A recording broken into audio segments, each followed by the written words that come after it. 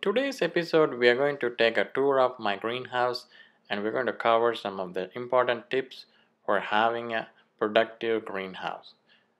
Tip number one build your greenhouse on a sunny location. Make sure there is no shades from home or tree falls on the greenhouse location. It has to be sunny as much as possible from morning to evening. Tip number two get a natural ventilation.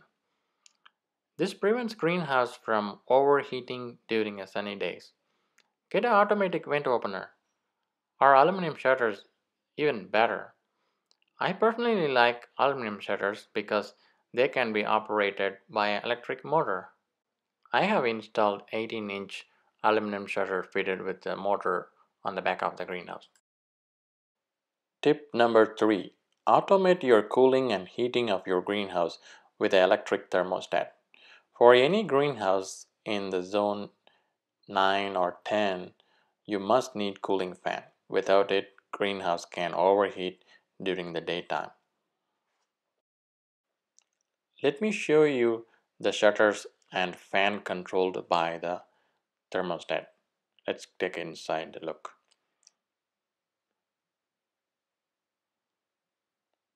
In the back side, you can see the air intake shutters have electric motor on the bottom and the electric fan in the front side of the greenhouse.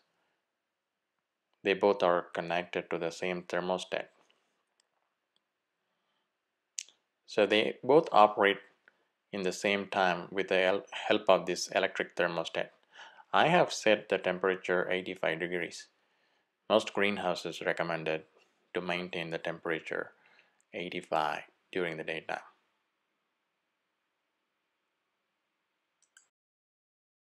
Tip number 4. Keep water in the greenhouse. Water stores energy from the sunlight and helps the plants to keep warm during the nighttime. You can use any rain barrel or 5 gallon Home Depot bucket to store water inside the greenhouse. Some of the larger greenhouses have fish tanks inside the greenhouses for the same reason. The water prevents plants from freezing during the nighttime temperature. Here you can see I am keeping a 5 gallon bucket of water in between eggplants and uh, they seems to be uh, living fine in the freezing nighttime temperature uh, with one sheet of protection and water in between them. So they are both together keep the eggplant warm. And also I have a, a big uh, 50 gallon water container. Tip number 5. Build your own greenhouse. And believe me, it is a fun project you can find a lot of good reading material in your local library for greenhouse construction ideas. Or you can Google it or you can search in the YouTube too. There's a lot of videos about how to construct. I used 10 2x3 treated wood and 4 4x4 cedar wood for my construction work.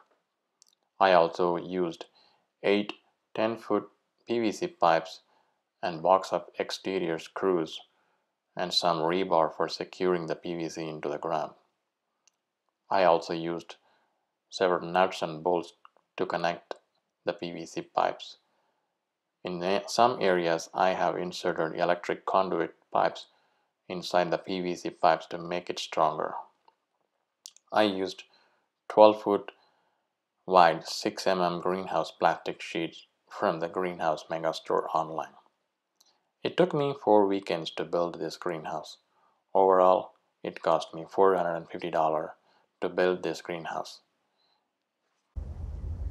Let me show you a little closer look how I secured the greenhouse flame to the wood in the bottom. So this is uh, sheets are attached to a wood and I have a screwed on top of it so you can see all the way to the front to back.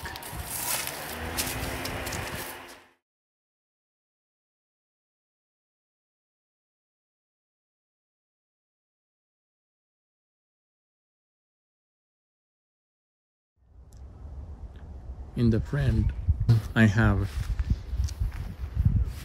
attached on the greenhouse sheet using the wood strip like this.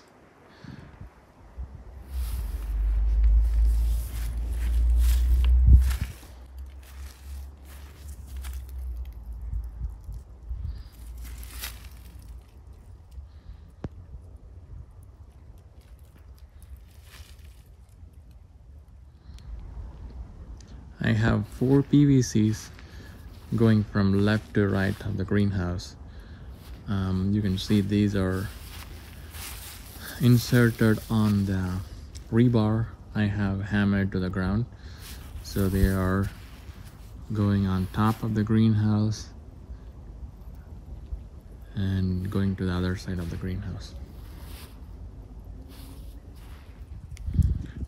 Similarly on the left side the greenhouse sheets are attached to the bottom wood using a small strip of wood.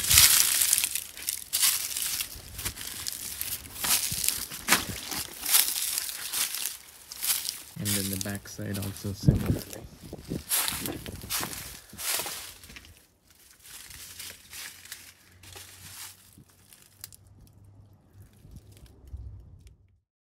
Let's go over some of the benefits of having the greenhouse.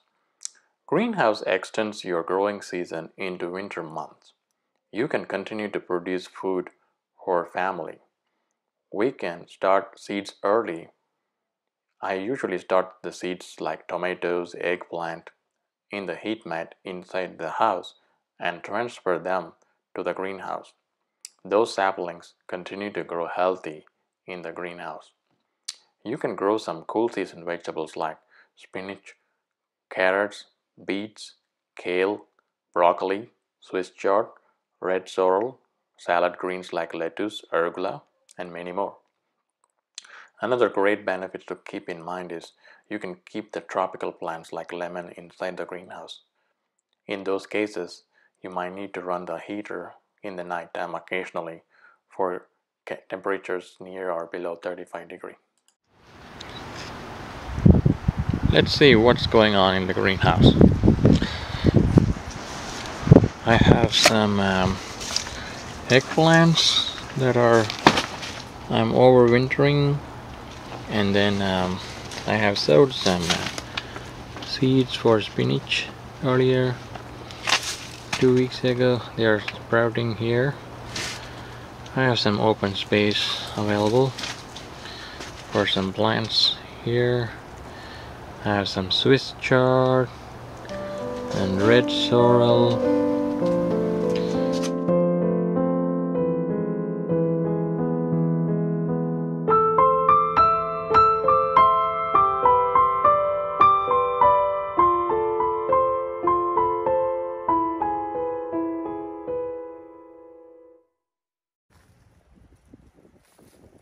Thanks for watching and happy gardening.